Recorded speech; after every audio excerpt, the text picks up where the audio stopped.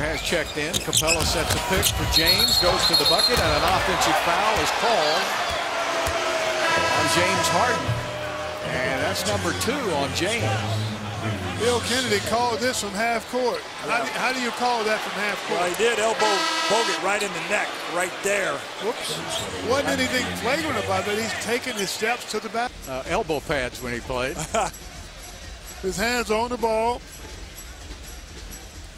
If Bogut was vertical, see, there's no way. And he was also moving. He moved into Harden. Well, wow. Won't do that anymore. Caught one on the cheek. Clyde's elbows were surgically.